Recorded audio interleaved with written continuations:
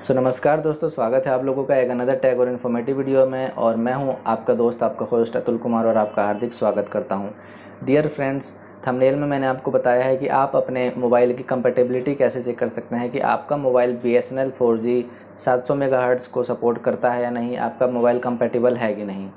उसके लिए एक छोटा सा ट्रिक है छोटा सा आपको ट्रिक करना है उससे आपको पता लग जाएगा। मैंने किया था तो मैं आपको स्क्रीन में ले जा करके बताऊँगा मोबाइल के स्क्रीन में कि वो क्या ट्रिक है, किस तरह से आपको जो है अपने मोबाइल की कंपेटेबिलिटी चेक करनी है, कि आपके मोबाइल में बी का फोर सपोर्ट करेगा या नहीं करेगा और आने वाले टाइम में फाइव चलेगा कि नहीं चलेगा। तो वीडियो में तक बने रहिएगा।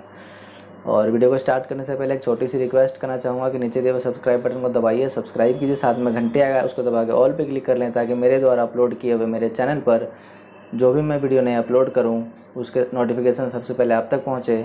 और आप इजीली उसको वॉच कर सकें।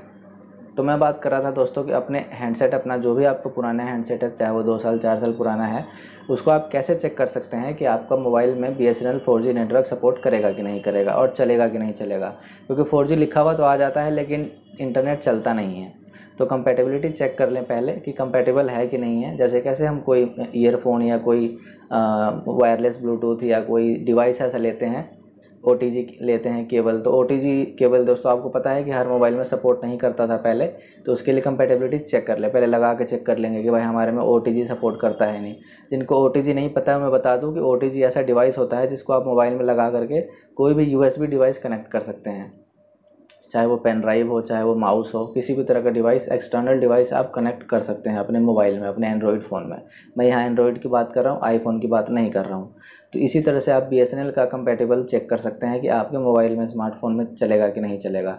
तो आइए चलते हैं फटाफट से मोबाइल के स्क्रीन में और देखते हैं कि वो क्या ट्रिक है, जिससे आपको पता लगेगा कि आपका मोबाइल जो है B S N L support करेगा कि नहीं? सात सौ मेगा हर्ट्स पर जो काम कर रहा है बी एस एन एल का फोर जी नेटवर्क वो आपके मोबाइल में काम करेगा कि नहीं? तो चलते हैं फटाफट से मोबाइल के स्क्रीन में। सो डियर फ्रेंड्स मोबाइल के स्क्रीन में हम आ गए हैं और अब मैं बताऊँगा कि आप अपने स्मार्टफ़ोन का B S N L compatibility कैसे चेक कर सकते हैं कि आपका मोबाइल BSNL के लिए कंपेटेबल है या नहीं है।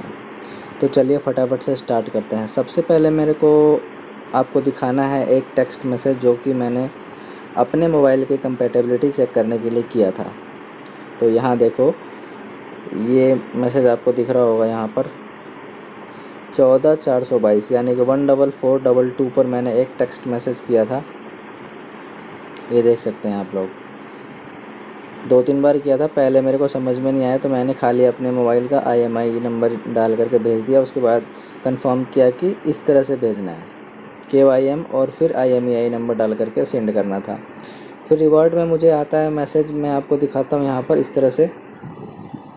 ये आपको आएगा तो जैसे कि मैंने बताया कि पहले मैंने डाल दिया था खाली आई एम ई आई नंबर तो देख सकते हो ये आ गया था यहाँ पर। स्टेटस इनवैलिड कमांड आ गया था। फिर to to know your mobile please type ये। इस तरह से उन्होंने बताया के वाई एम और फिर आई एम ई आई नंबर डाल करके भेजना था।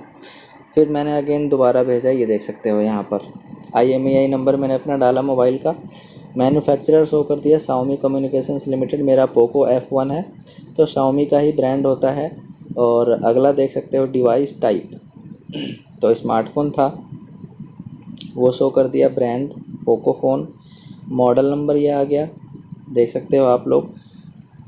तो यहाँ पर मैं आपको बताना चाहता हूँ कि जब ये अगर आपका BSNL सपोर्ट करेगा, आपका अगर मोबाइल सपोर्ट करता है तो किस तरह का मैसेज आएगा? मेरा सपोर्ट नहीं करता है, इसीलिए इस तरह का मैसेज मेरे पास रिसीव हुआ। अगर सपोर्ट करेगा तो क्या लिखा हुआ आ जाएगा? मैं आगे आपको दिखाता हूँ। मैंने दोस्तों, काफ़ी रिसर्च करने के बाद मैंने इन्फॉर्मेशन निकाली है तो वो मैं आपको दिखाना चाहता हूँ। उसमें सारी है कंपेटेबिलिटी चेक करने के लिए। तो दोस्तों, इसी पीडीएफ को जो है ओपन करते हैं और इसमें सारे ट्रिक बताए गए हैं। मैंने काफ़ी रिसर्च करके दोस्तों कहीं कहाँ ढूंढ ढूंढ मैंने जो है इस, इसको निकाला है। ये आपको कहीं भी ऐसे मिलेगा नहीं, आप चाहे तो ढूंढ करके देख लो। मुझे बता देना अगर आपको मिल जाए तो। ठीक है? तो यहाँ पर एक देख सकते हो पीडीएफ ओपन हो गया और यहाँ पर देखो, सबसे पहले आपको लाल कलर में लिखा हुआ दिखाई दे रहा होगा कि how to check your handset compatible with B S N L four G कैसे चेक करें? तो यहाँ पर सबसे पहला ऑप्शन दिखाया गया है कि find the E M I number of your smartphone या योर मोबाइल हैंडसेट आपको पता ही है कि आपको सबसे पहले आई एम ई आई की नंबर ज़रूरत पड़ेगी। दो होते हैं सिम तो कोई भी एक आई एम ई आई नंबर आप लगा सकते हो। आई एम ई निकालने का कोड है star hash zero six hash ये डायलर में आप डालेंगे तो आ जाएगा। मैं आपको करके भी दिखा देता हूँ, देखो। स्टार है ज़ीरो सिक्स हैज़ ये कोड डालते ही आपके देख सकते हो, दोनों आई आई नंबर यहाँ पर शो कर देंगे। एक सेकंड का टाइम लगेगा। जैसे आई आई नंबर मिलेगा, उसके बाद सेकंड आपको क्या करना है स्टेप इसके बाद करना है सेंड एस एम एस यहाँ देख सकते हो आप लोग लिखा हुआ है। Send S M S as per the following format to चौदह चार सौ बाईस नंबर। ये चौदह चार सौ बाईस नंबर पे आपको भेजना है विदाउट विदाउट स्पेस और एनी जो है ब्रैकेट या एनी आपने कोई भी जो है सिंबल वगैरह इसमें यूज़ नहीं करना है। आपको क्या करना है? आपको लिखना है, उसमें आगे मैं बताता हूँ क्या करना है। पहले चौदह सौ बाईस पे भेजना है अपने आई एम आई नंबर को। अब डालने का फॉर्मेट क्या देखो, ये रहा। ये है। के वाई एम स्पेस देख सकते हैं यहाँ पर स्पेस ये ब्रैकेट वगैरह लिखना नहीं है आपको। यहाँ पे दिया हुआ था ना कि विदाउट स्पेस एंड ब्रैकेट्स। तो यहाँ पर चाहो तो आप स्पेस के डाल, मैंने दोनों किया था, आपको मैंने मैसेज में दिखाया था, मैंने दोनों तरीके आजमाए। K Y M space I M E I number डाल करके भेजा मैंने एक सौ चवालीस बाईस, यानी कि चौदह चार सौ बाईस पे, और मैंने स्पेस के साथ भी भेजा था। तो दोनों तरीके मैंने चेक किए थे। तो अब देखो कि आप कैसे कंफर्म करेंगे कि आपका B S N L support करता है। तो यहाँ पर दिया गया, चौथा स्टेप यहाँ पर दिया गया है, ये देख सकते हो। कि if the reply contents L T E F T D band one ये अगर आपका रिप्लाई में आता है then your handset is compatible to B S N L four G services देख सकते हो?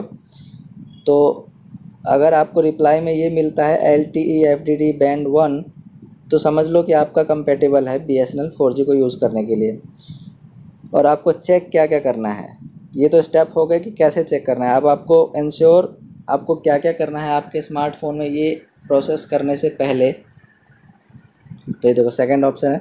Ensure that your handset is upgraded with the latest software provided by your handset manufacturer यानी कि आपके जो ब्रांड है, जिस भी ब्रांड का आपका मोबाइल है इंश्योर आपको कर लेना है कि आपका सॉफ्टवेयर अपडेटेड हो। ठीक है? लेटेस्ट अपडेटेड हो। इसके बाद थर्ड ऑप्शन है ensure that that you are using a B S N L four G SIM S N L four G SIM तो get it at the nearest B S N L customer service यानी कि B S N L SIM उसके अंदर होना चाहिए, उस mobile के अंदर। अगर नहीं है तो आप स्टोर से ले लो, ये कह रहा है। चौथा ऑप्शन है if you are using dual SIM handset please always use B S N L four G SIM in the first slot यानी कि सिम वन स्लॉट में आपको डालना है बी एस एन एल को। इसके बाद पाँचवा please set network mode in the handset as L T preferred आपको पता है नेटवर्क मोड को आपको एल टी प्रेफर्ड में रखना है, बाकी इन्होंने पूरा प्रोसेस बताया हुआ है। आई के लिए अलग बताया हुआ है एंड्रॉयड के लिए अलग बताया हुआ है यहाँ पर। छठा option please ensure mobile data pack activated यानी कि डेटा हो आपके सिम में और for your mobile connection it can be checked by ये कोड दे रखा है चेक करने के लिए। अब तो इस कोड की ज़रूरत नहीं पड़ती, अब तो ऐप से हो जाता है सारी चीज़ें। इसके बाद यहाँ पर लिंक दे रखा है। B S N L S G prepaid dot com please dial पंद्रह सौ तीन फॉर एनी असिस्टेंस कॉल करके आप कोई भी कस्टमर केयर से हेल्प ले सकते हो। इफ़ मोबाइल डाटा सातवां ऑप्शन है दोस्तों। If mobile data facility not activated for your mobile connection so far please send S M S to start data facility दोस्तों ऑलरेडी सब कुछ ये सब ओके करके रखते हैं। इसके बाद आठवां ऑप्शन है एपीएन सेटिंग एपीएन पे आपको बीएसएनएल नेट रखना है, वो मैंने आपको पहले भी बताया था एक्सेस पॉइंट जो होता है, वो आपको एक्सेस पॉइंट नेम में बीएसएनएल नेट ही रखना पड़ेगा।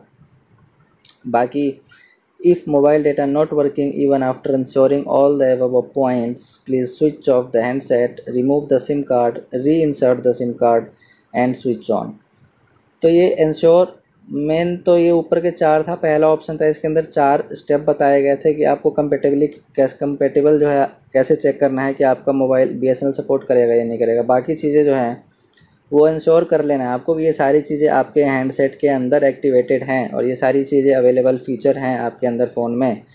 तो ये सारी चीज़ें मैंने आपको बताया। ये देखो, ऊपर जो लिखा हुआ है heading B S N L four G fact for Nagercoil city customers तो यहाँ पर देख सकते हो, ये सारी चीज़ें मैंने बताई और ये कहीं भी आपको नहीं मिलेगा फॉर और यहाँ पर for further assistance please visit nearest B S N L customer care centre और प्लीज़ कॉल इस नंबर पे कॉल करके आप कोई, आपको क्वेरी हो तो कर सकते हो. नोट डाउन कर लो यहाँ पर, मैंने आपको बता दिया भैया।